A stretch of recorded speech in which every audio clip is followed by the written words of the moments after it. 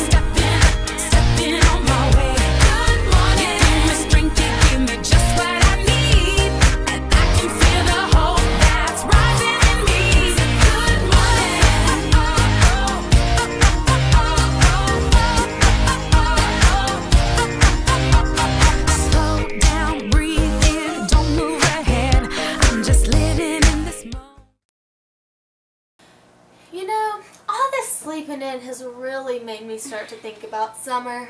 Yeah, I think I'm gonna have to get a summer job. Hey, I heard Lauren talking about it the other day. Let's go to her for the story. Hey Gators, now that the school year is winding down and summer is slowly but surely approaching, many students are in desperate need of a job. According to the Department of Labor's Bureau of Labor Statistics, 48.8% of youth between the ages of 16 and 24 were employed in July, the month when youth employment usually peaks, which is significantly lower than the 59.2% of youth who were employed five years ago and 63.3% who were employed 10 years ago. Working not only gives you a steady income, but the experience looks great on resumes you're bound to have in the future. Now let's go to Amy Horn, manager of a local swim and tennis club, to see what they're looking for in future employees. Summer months being your busiest, what kind of employees are you looking to hire? Well, first of all, I want them to be reliable, friendly, um, motivated to do a good job and come to work on time. Two of my pet peeves are late and lazy. So if they can be here on time and show that they want to work and do a good job, that's good for me.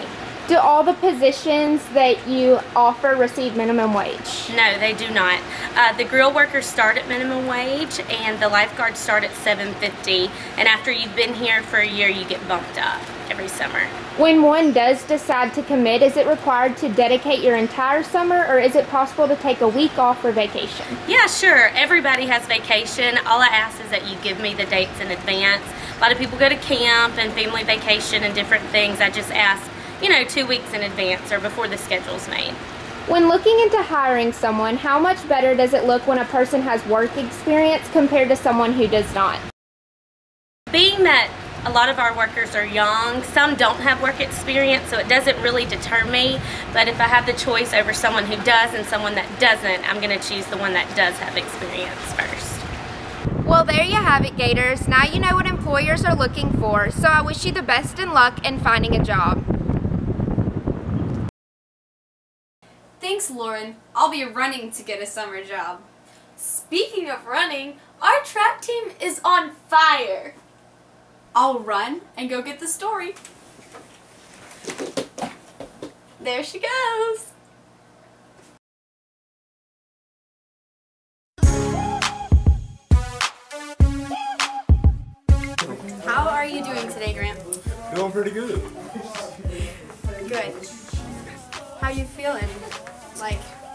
As far as your running? As far as my running, you know,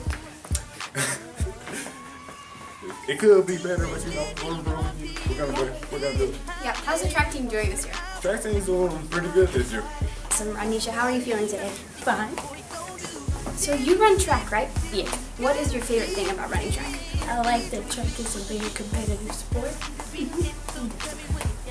All right. Um, how long have you been running track? Since the sixth grade, but skip seventh grade, so five years. Wow, that is a long time. For two years. Two years? That's awesome. So, what do you think about when you run? I really don't think about anything. Normally, before I run, I just say my prayers and free my mind, and I go with it. Sweet. Okay, so I'm gonna get you to brag on yourself a little bit.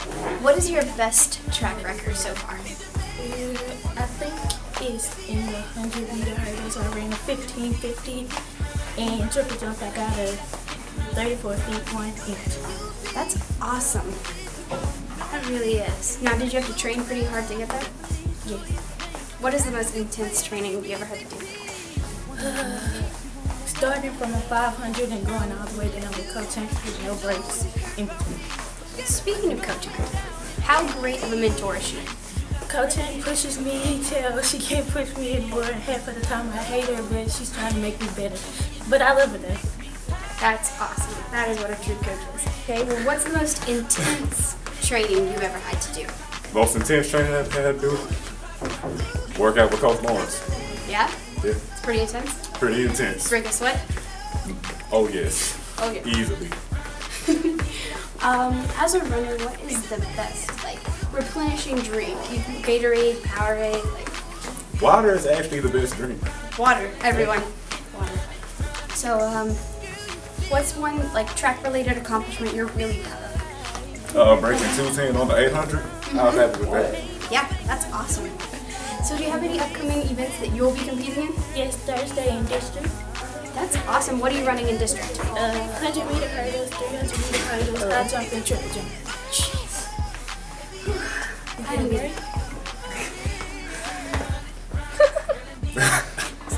I am so tired. I was not made for track. You were made for track, but I was not made for track. A big thanks to Grant and Radhisha and a shout out to all the track stars who will be representing Shreve this weekend and next weekend. Good luck, guys.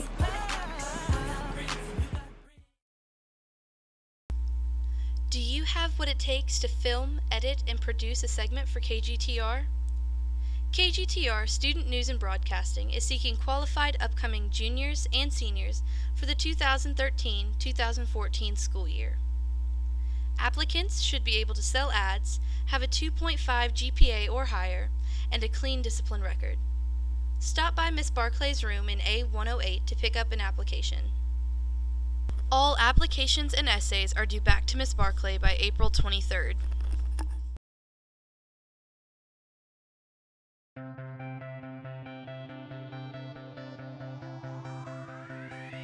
Hey there, juniors and seniors. Are you ready to have a ball at prom? That is a masquerade ball, of course. So girls go grab that dress, guys go grab that tux, and don't forget to get a mask. So you can have a fantastic time at the junior senior prom. Remember, April 27th at the LSUS Ballroom, 8 p.m. to 11 p.m. Singles tickets are $15 and couples tickets are $25. See you there.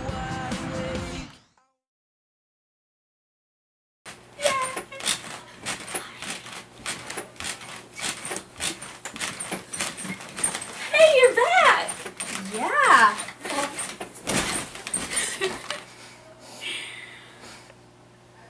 Amelia? Amelia! I'm fine! Pranked ya! You know who else likes to prank? Megan.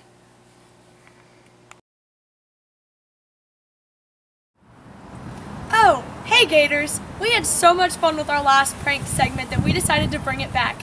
But quickly we learned that not every prank goes according to plan. So here are some pranks gone wrong. Our first prank fail was a cake with a balloon inside.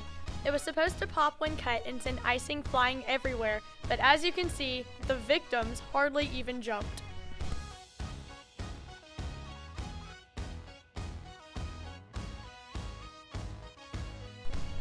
Next up was an attempt to scare Miss Hujack.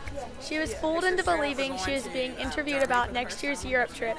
I jumped out to scare with an air horn, but naturally it did not go off.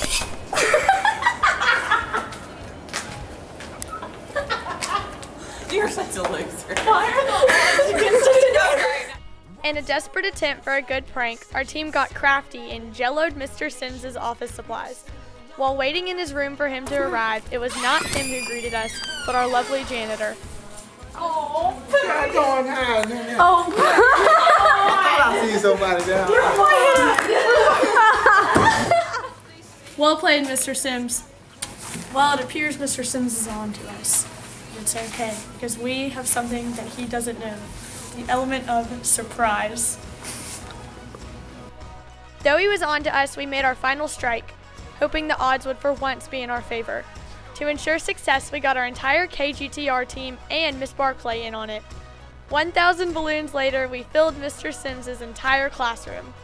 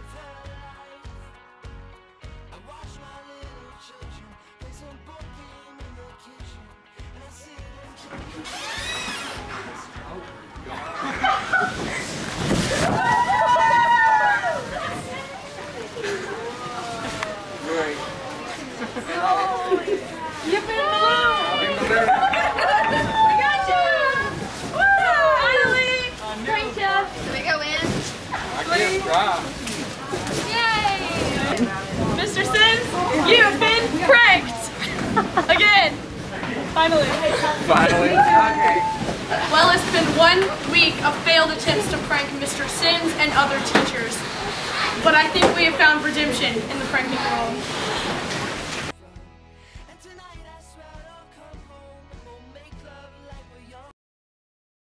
Way to go, Megan. Now let's give a special thanks to our sponsors. The Binicky family, The Bundrick family, Caldwell Wholesale, the Chamel family, Dr. Waddell, an orthopedic specialist, E&M Collision and Auto Repair, Origami Owl, the Parker family. and Thomas and Thomas Attorneys. Well, that's all we have for today, Gators. Good night. And thanks for watching KGTR.